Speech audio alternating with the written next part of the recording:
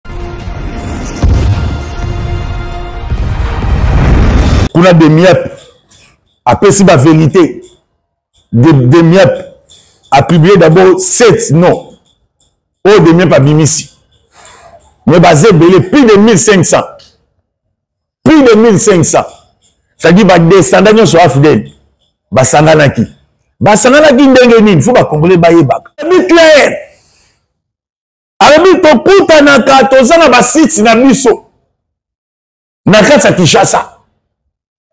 yango tosalaki partout le moyen to évacue corneille nanga na ri magie totindaki baemisele na biso mosusu balandaki kabila na niveau ya namibi ntango akendaki matanga emission yango nani john numbi tobetaka masolo ya john numbi bakenda kokutana na kabila wiklo na namibi basolola oyo basolola doki bamo oyo bayebi nasalelaka yango emission tozoyebisa baservice ya renseignement eriko bokangi wana kuba wana bato oyo atangi baza kaka seti siko bato oyo babombani na bandako parceke na minute oyo fo checking yo biso ya kobomba te parceke na bapaye eza serieux kaka nde azotanga wana atangi nani yaka simba ye atangi nani yaka simba ye parceke makambo ya république basala olisano te parceke kuba akufi motu soni te akendaki conseil stratégique akonei nanga banda kosolola nini baya korenvexe pouvoir banda kotante na mois de juin babeta coup d'état mais okobe coup d'état esimba te selon nde mobeko ekoma tosala nini il faut kocreye bafoyer de tension otindaki quelque misai na niveau ya tanzanie koto bake kotya ye maboko ok baservice ya renseignement congolais besi bazwaki information apartir ya baservice ya renseignement tanzanien ke tozomona bafausse mouvement ezosalama awa tozomona teni ya frdc na bino ya arme na bino ezolatama awa na kati ya bavillage moko awa eza na basoda batiela base logistique toyenda to identifie bango tozoyeba te baza basoda ya monesco baza basoda ya dini sadek tozoyeba te bino boyede biso to identifie biso na bino ensemble tala makambo quelque officier misu banga bakima lobi na butu bakangaki bango surtout banga bakima bakende wapi plus de 75 officier banga kati ya nzela congo brazzaville bamarie baempeshe bango ni baentreprise publique ekendaki na maboko ya barwandais baétranger mpo balobana kose financier siko likambo ezali eza nini Troubles du système immunitaire, chute de tension, maux de tête, fatigue, perte de poids, frigidité et diarrhée. Dites adieu aux inconforts et retrouvez une nouvelle jeunesse avec une tasse de maxi bien-être au quotidien. Une solution bio composée de plantes traditionnelles, 100% naturelle et reconnue pour sa vertu. Une formule adaptée pour hommes et femmes. Depuis plus de 10 ans, le Maxi Bien-être Café renforce le système immunitaire, restaure la fatigue physique, améliore le sommeil, aide à stabiliser la tension et la glycémie, nettoie les reins, soulage l'hémorroïde et la constipation. Chez les hommes, le Maxi Bien-être restaure le dysfonctionnement sexuel, l'impuissance et l'éjaculation précoce. Maxi Bien-être est disponible partout dans le monde. Passez vos commandes sur www.maxibienêtre.com. Bonjour, bonjour, bonsoir, bonsoir na balandi na biso nyonso topesi bino mbote mbote boza partout ebele ebele oyo bozwi libaku ya kolanda biso na la, par la voie internet topesi bakongole nyonso ya de père et de mère topesi bino mbote boza ebele ebele ebele baye bakomelaka biso oyo mpe toyanolaka bango batunaki koko doki toyei kobeta masolo ya république démocratique du congo encore une fois topesi boza mpende ebele topesi bino mbote toyei kobeta masolo ya république démocratique du congo mais avant tofungola masolo tika liboso topesa tata mokonzi ekolo félix antoine tshisekedi merci mpo na date ya le 6 avril oyo bayindo ba reconnaître bango à partir ya mwana na bango tata na bango koko na bango le grand prophète simon kimbaku na remercie mpe susu bakonzi omoni likambo ya mwana ya joel kitenge tolalaki te deux jours mobimba ya kotambola tokomaki na bato ya likolo mpe bayanolaki biso topesi bino merci ndenge oyo ya biso ndeko aza libere merci beaucoup na ndenge boyokaki kosenga na biso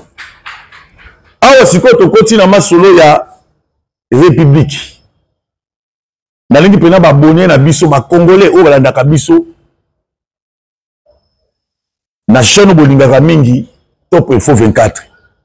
toyebi ke actualité eza bouge na biloko oyo bananga bazosala eriki kuba asali nini kuna nani john yumba alobi nini kuna olenga nkoi olenga zazu alobi nini baza mpena ebele mais faut toyebisa ba congolais eloko nini ezosala ndenge wana kuna demiap apesi ba verité de demiap apublie d'abord 7 non oyo demiap abimisi mais baza ebele plus de 1500 plus de 1500 cetadi badesanda nyonso ya fidele basanganaki basanganaki ndenge nini fo bacongolais bayebaka ntango tolandi kosala politike na opposition ezalaki na bato ebele politike bandi olinga yango te na bato mosusu lelo bakoma bajournaliste yango mingi napesaka moninga na ngai eliezer ntambo le grand capable pesako mbote toyebi koto towuta me lelo ekomaka nati baya wenge bafana tika babeta mbunda accord global et inclusif oyo barwandais basinisaka bacongolais na sainte city yango nde mama na likambo oyo monaka bolenga nkoi bakenda kosinya bakoo moko bidon na bagode ekuba yo baprofite kabamba baza ebele oyo bakenda na sun city bakenda dabord kosala nano mobeko likonzi moko doki doforme ezoyebana te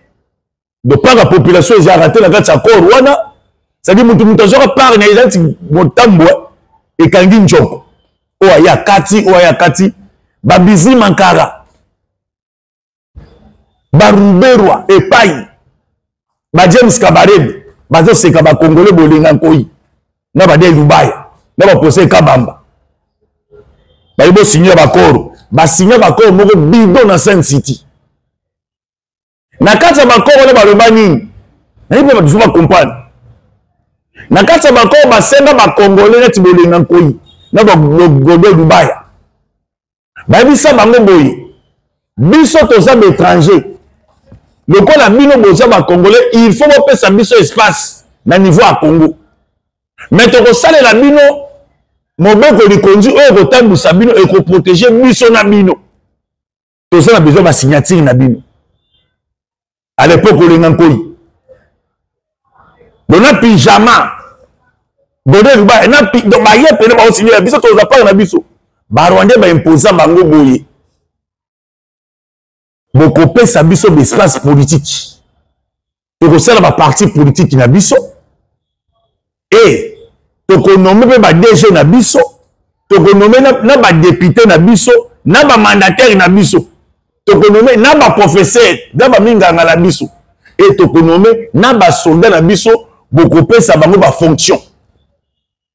bakabila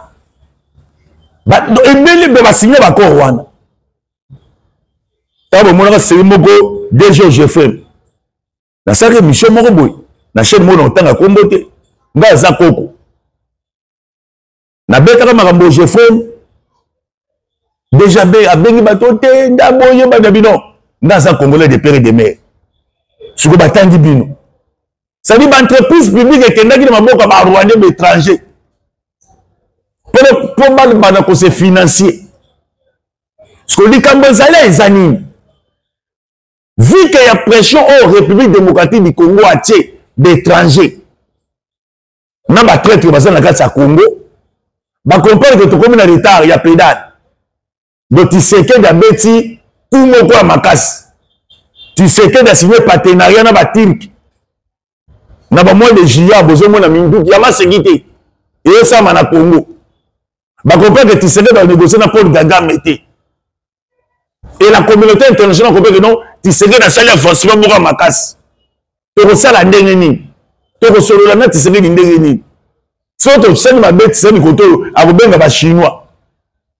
du tokende korenforce bor ya corneille nanga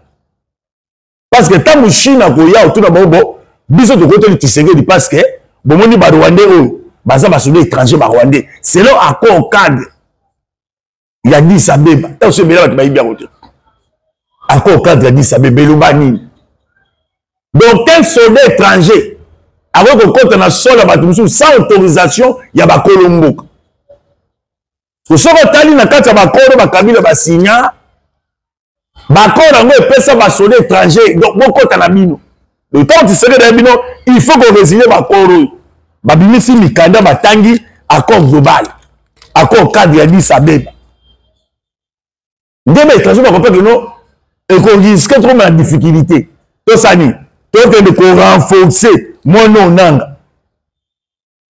baye sikoyo na nsima nanga baye ebele ebele na mindele mosusu baza na nsima nanga donc bakopesa kati sekedi message ke donc nde oza wana soki osali de mandat na yo okosala troisième mandat te faut kocomprendre politique donc baotia kati secret de pression bino bino bomona yango lelo biso tomona ya 2028 parce que biso tosala politique eza kaka pression balisa tireke lino omoi na nanga ye wana na terrain sikoyo na nsima ya bananga wana tobetaka masolo ya jo numbi bakenda kokutana na kabila wiklo na namibi basolola oyo basolola doki bamoyo bayebi nasalelaka yango émission un rwandais afai na niveau ya goma abengi nga mpo aintimide nga nayebisaki monsieur keba bakokanga yo na baservice eza kuna donc bacomprendre sikoyo kedo ndenge tokomi boye tokomi na difficulté tokende korenforce nanga oke nanga eza nanga te eza kabila na paul kagame accord global exclusif ah, nabiki bato bozokoma deja ebele koko ye na septembre tozobomona ye koko te parce que tozali na démarche ya ndeko na biso mwana doki oyo atosaka mikolo maître joel chitenge eh, aza mwana atosaka mikolo foi tosala bademage mpo libota ekota kimia kimia mpe ekoti yango topesaki bakonzi merci babimor wana ozomona wana ya afc wana eza eloko ya kabila na paul kagame paul kagame koto lokola peuple pedale na basoda na ye ya, ya m23 na ba adf asi kabila il faut sikoyo otya pression nasalaki émission nayebisaki bino ke liste oyo demiep apesaki na dgm to babengisaki dada janete na makambo oyo dada janete alobaki nde omoni sikoyo kipelekisi epesi bakabila do kabila mibimisi do nganga mpenza omoni nganga nayesi bango ke bokoko na tere boganye bajour bandi kobeta babeti babeti rien vie eza te nayesi bila ndanga en tout cas ekipe oyo baa na kisi yo moko yaka na tere donc ndanga akoti na tere donc ndanga pena ya kabila eh? eza soki ya kobomba te donc ndanga pena oyo baoyaya bopesa nga toge nga mwana kota na tere nabeta bale parce que paul kagame mpe atye kabila pression abi vu que effectif ya basoda rwandais oyo bakotaka na congo na arrive ya afdel tozokoka lisusu te korenforce effectif wana parce que armée congolaise azo neutralise baforce rwandais oyo eza na kati ya congo alors lokola yo oza ozalaki ancien président ya congo oza mpe na bamilisi na yo neti bandaka baa bamilisi ya kabila buru eloko wana eza kabila na na paul kagame ekodada seneta otala koko eh, koko oyeba ye eh, napesi leki na nga patient avile mwana koli mbote nabiki boza ebele bozolanda donc paul kagame ayebisi kabila verité kote oyo tisekedi abloke machine ngai nao tonda kozwa biloko ya congo pake so botali fortune ya kabila botali na silence ya kabila bokomprene ke eza bananga te soki moto akoma koma bokomaka lambolia koma omoni un communicateur ya pprd aleki soki barbara soki nzimbi donc bandi koba biloko moko boye tala yaya bosepela bosepela na tisekedi aza bien tisekedi aza bien tuna babiso oyo ntango osala bacommunication na ba parlement mpo na kolite contre dictature ya kabila sept fois arrete na prison centrale ya makala boyebi likambo te bakangi yo baye babuki porte ya ndako komikaniongo atuka nde kabila azogere mboka mabe do anel baye bazwi yo bino bosepela bosepela tisekeke aye mpe na baleki mpe na tele ndabemeso tilambo tilambo lokola tilombo moninga na ye kosepela na mwana mama max kasalu aza motema monene neti nga osedi bino nyonso bozaka tofanda te so tozoyebisa baservice ya renseignement eriko bokangi wana kuba wana bato oyo atangi bazaka aseti siko bato babombani na bandako parceke na minute efo checking yo soki okobomba te parce que na bapaye eza sérieux donc kaka nde azotanga wana atangi nani yaka simba ye atangi nani yaka simba ye parce que makambo ya république basala yango lisano te république démocratique du congo eza biloko mosusu sadi ya baje ya baje ya solo ya solo parce que kuba akufi motu soni te akendaki conseil stratégique akona enanga banda kosolola nini baya korenvexe pouvoir banda kotante na mois de juin babeta coup d'état me okopeyo coup d'état esimba te selon nde mobeko ekoma tosala nini il faut kocreye bafoyer de tension nde bomonaki barekitaki bajeune bapesaka bamachete baligue de jeune ya ppd oyo lelo bakoma afirme na kuluna mpe topesi merci na le général blaise kilimbalimba oyo alandaka ngai napesi yo mbote mo général topesi mpe merci na bapantere nde bakoti na mosala me boidentifie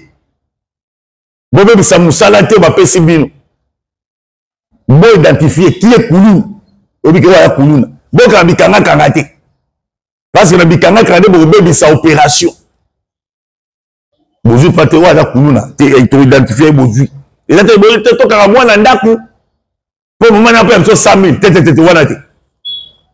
eleve mpe mpita ekazali napesi mbote wana mpena vi apale vi akozonga na mbwe nde na ye lisusu fanda kimia yaya se mosala kitoko sadi tolingi mpe ayekisaki mosala esalama bien tozomi rapidement alobi claire alobi tokutanaka toza na basite na biso na kati ya kinshasa yango tosalaki partout le moyen to évacue corneille nanga na rimagi totindaki baemisele na biso mosusu balandaki kabila na niveau ya namibi ntango akendaki matanga emisele yango nani john numbi nayebisaki bino bokozwaka verité ya masolo kaka awa na top efo 24 chez na bakongole okoki kotambola mpa pamba te loso nabeti yango yango wana abi totindaki bemisere na biso esi babimaki ntango babimaki bakendaki totindaki kelke misere na niveau ya tanzanie koto bake kotya ye maboko oke baservice ya renseignement congolais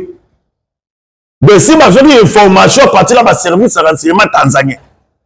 ke tozomona bafausse mouvement ezosalama awa tozomona teni ya frdc na bino ya arme na bino ezolatama awa na kati ya bavillage moko awa eza na basoda batyelela base logistique toyenda to identifie bango tozoyeba te baza basoda ya monesco baza basoda ya dini sadeki tozoyeba te bino boyede biso to identifie biso na bino ensemble tala makambo sikoyo olomoni motu moko aleki na tv biso toyoma makambo eza sérieux ye aleki lokola aza mwana mwasi lokola kabila apesaki bambongo aleki mpe boye ntila mbonda abomi mboko oyo tala bino bosakana osepela osepela osepela cilomba ni motema malamu bosepela bamifiliatire ebandi ntango baservice congolais batye maboko donc na nde bakangeli azondima te na bananga na miso na bidoki donc baza alere alere parce que atangi na janete babi te janete datuka janete dakomola ezali awa atangi na mama olive babi te baza deja awa bazali ayibo sava kasi babi tanga janete nani bango doki eh, toyebi kaki bazala na kati ya masolo wana yebisa biso bakombo ya sika moto ya liboso ya binani olenga nkoi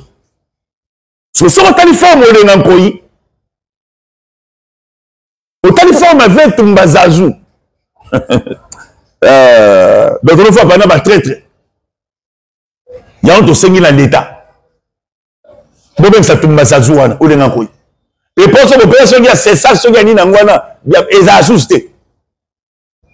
bokanga nini wana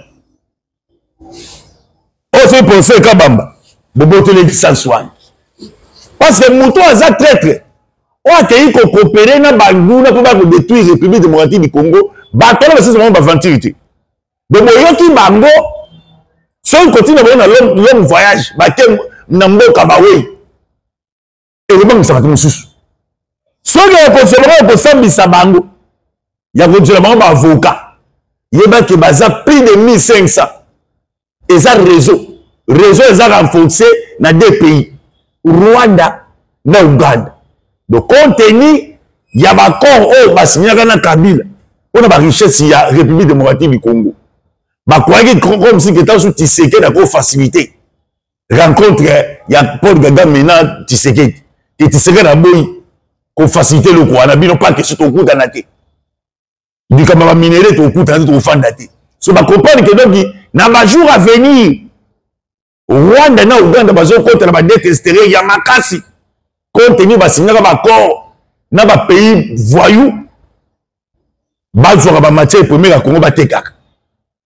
bacomprendre ke armée eza lisusu te na derrière nsima na bango bameki kozwa contact na baofficier mosusu baza na kati ya armée contact eza te nde bacreye eloko wana eloko wana ezo represente afdel mobimba soko bacongolais esi namona ti patient bazai obina fona mpe eh, oyo eza kindoki nayebi oza kindoki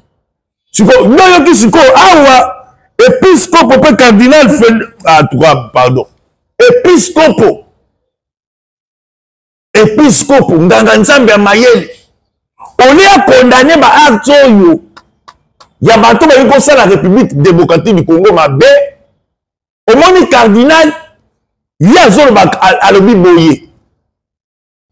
lokola mboka eza na nzala yango omoni bilenge ya congo bakei koluka makambo oyo bakoki kosala mpo baya kosauve pays parce que pouvoir en place baabandonne peuple na misère na bango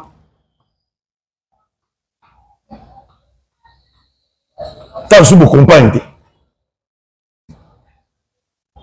donc tozela liloba oyo eglise mpe ekondane te te yo mwana onanga te te te te te te soki ozwi mandoki soki obandi bitumba bana bakokufa kaka bakongole oyo bandeko na yo te tolingi eloko oyo te kitisa mandoki tika biloko oyo tika nzela wana mpe yo kabila tika nzela wana ee eh, eh. eglise akomi koyeba no lokola mboka eza na pasi automatiquement église akomi otake gouvernement de église azotake tisekedi ye nde grand de la nation de église catholique na tisekedi nayebi te lokola bayinaka tata bayini mpe na mwana donc tozomona makambo eza serieux bajo numbi baclone lumaya baolele koyiba kabila banda basangani baza pile éparpillé misusu bana niveau ya congo brazzaville misusu ndambo bana niveau ya angola ndambo na kwitu baza ndambo baza parce que mikolo eleka bomonaki basoda bautaki nil part bakei kose refugie na angola na bitnis eske na bitni eske angola bitumba eza jamais tomonaki baétudiant rwandais baye kotanga na congo brazzaville oya baétudiant ngo bayebani te parceke ole église condamne acte wana mais guise ezoba nini lokola bakambi ya mboka bazokamba mboka mabe nzala ekomi na mboka yango bomoni bilenge bilenge bazobenga nanga elenge eh, eh, eza mpasi mingi yango moni balobani te makambo apengde moko tolingi yango te soki congo alingi amibikisa ye moko congo décision congo azwi ya peine de mort ekosauve congo parce que bano bananga balali te meme kabila osilo kaka okufa kabila soni parce que na moto ya kabila so otuni bapolisi to ya kabila nanga azo prépare nini mbetu oyo kabila ekoki kolalela eza nanga te eza kabila Bah, parce que paul kagame amonaki non kope kokima biso boye te boni boye ko so tobunda tobunda nanga boya tosangana babeti so otuni gode dubai okoti kuna sibasi de quoi otuli pose kabamba boye okoti kuna okoluka nini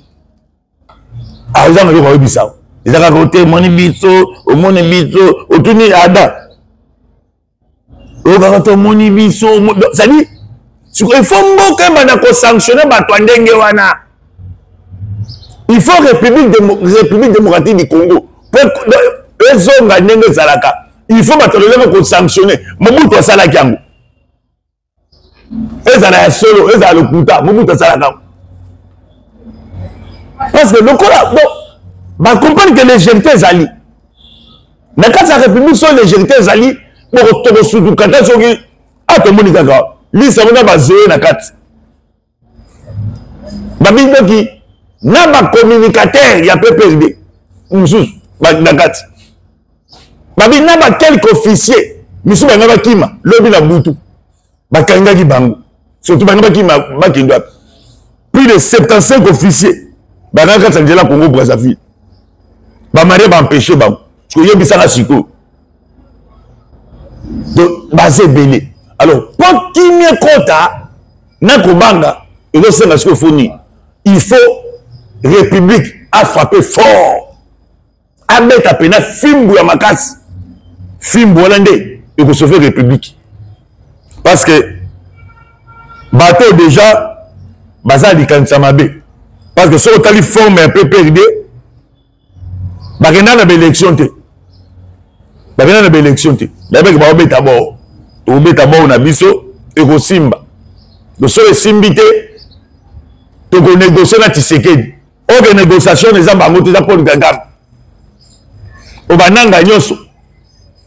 bazali na parc na bango na mboka oyo lokola sikoyo bapart wana ekimi bango babeti machine moto osala sikoyo ndeni te fiso toluka négociation sikoyo bakomi oluka sikoyo kosala par tous les moyens c'est-à-dire bakolisi rébellion na bango wana neti omoni afc wana lobi babombarde bato bapanzani makolo sikoyo yebisa sikoyo donc rebelle nanga na basoda na ye babwaki bombe na kati ya eglize bato bapanzani makolo sikoyo baboma nanga yango te eglize abi te mpe de moko tolingi yango te sikoyo bato bakufaki lobi na grand goma tokozonga tobeta masolo ya république démocratique du congo bosabone massivement nayebi ke boza ebele oyo boza babone na biso